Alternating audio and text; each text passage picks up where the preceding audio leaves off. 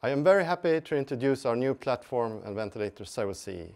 It contains a lot of new features, including a new wide screen and also features that enables with nice design and gives a lot of support to give the treatment to the patient easier. Let's go to the open lung tool by the maneuvers. A part of the lung protective strategy is also to use the OLT trends that can be used for uh, lung recruitment, PEEP titration, or just for a clinical intervention. It's on breath basis, and you can set it like this, and you can also go backwards to, to see earlier lung recruitments. There are also two functions as described before with nebulizer and end-tidal CO2. Nebulizer connected like this and started here.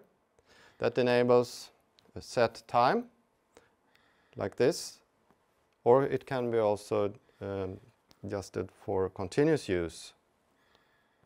And then start and highlighted by an icon here on the top.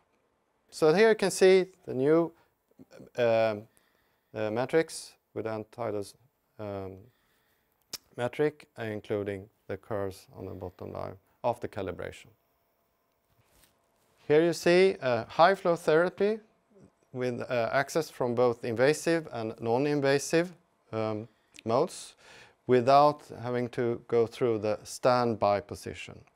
And each step is shown by, uh, by pictures to make it easier uh, to understand with a quick access to this high therapy, including two settings of oxygen and flow that are adjustable.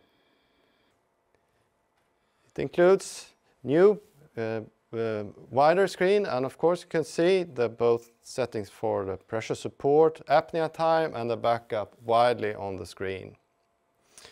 And of course we have the contextual help here that also enables for fine tuning of the settings.